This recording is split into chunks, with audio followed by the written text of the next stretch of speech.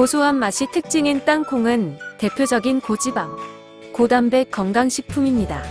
땅콩은 일반 콩보다 지질이 3배가량 높고 13종의 비타민과 26종의 무기질 등 각종 영양 성분이 풍부하게 함유된 천연 건강식품입니다. 미국에서는 땅콩 소비량의 약 56%가 땅콩버터 제조에 이용되고 나머지는 볶아서 간식용으로 만들거나 제과용으로 이용되고 있다고 하는데요. 우리나라에서는 주로 볶아서 먹는 볶음 땅콩 형태로 가공되어 반찬이나 간식거리로 많이 사용되고 제과, 제빵의 재료, 기호식품, 환자 건강식, 술안주 등 여러 가지 형태로 이용되고 있습니다.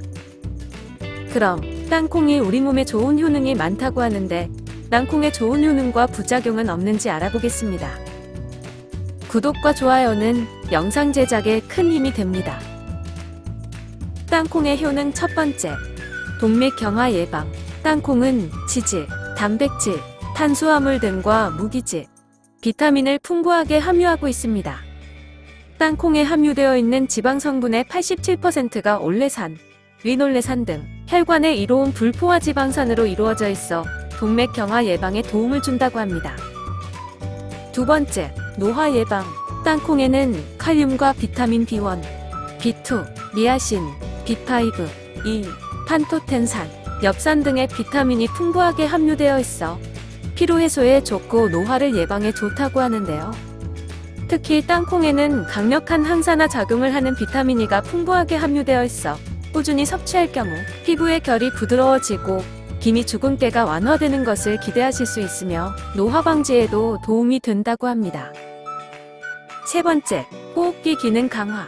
아이소로신, 류신, 라이신 등의 필수 아미노산도 골고루 들어있으며 기억력을 증진하고 호흡기 기능을 강화하는 효능이 있습니다. 땅콩의 붉은 껍질에는 조혈 효능이 있고 철분의 흡수를 돕는다고 합니다. 네 번째, 심장병 예방. 미국 벤더빌트 대학교에서 진행한 연구에 따르면 견과류와 땅콩을 많이 먹는 집단에서 심장병으로 사망하는 위험이 최대 21%나 낮아지는 것으로 나타났다고 합니다. 연구를 이끈 슈사오 박사는 저렴하고 쉽게 먹을 수 있는 땅콩에도 견과류와 비슷한 효과가 나타났다고 말했다고 합니다. 다섯 번째, 당뇨병 예방. 당뇨 증상의 개선에도 좋은 것이 땅콩이라고 하는데요. 땅콩 껍질에는 인슐린의 기능이 떨어지게 되어 세포가 포도당을 흡수하지 못하는 인슐린 저항성의 개선 효과까지 기대할 수 있기 때문에 당뇨 예방 효과가 있다고 합니다.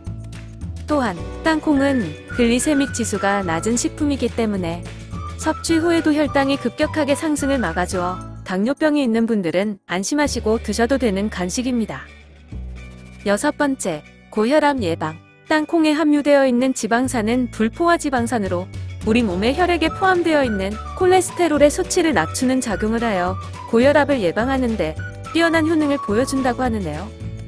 고혈압의 예방으로 각종 성인병을 예방하는 데도 효과적이라고 합니다. 특히 땅콩을 식초에 일주일가량 숙성시킨 후 먹게 되면 더욱 큰 효능을 볼 수 있다고 합니다. 일곱 번째, 다이어트. 땅콩에는 육류의 동물성 단백질만큼 아미노산 조성에 좋은 식물성 단백질이 같이 들어있다고 합니다.